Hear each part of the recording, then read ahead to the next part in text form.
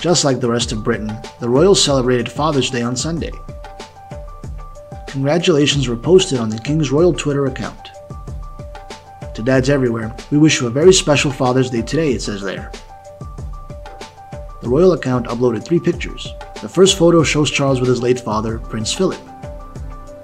The second snap shows Queen Camilla with her dad, Bruce Middleton Hope Shand, whom she had to say goodbye to a few years ago. The last picture definitely makes some royal fan hearts beat faster because here you can see King Charles with his sons William and Harry. The picture dates back several decades and shows the two princes as teenagers. Is the photo a sign of reconciliation?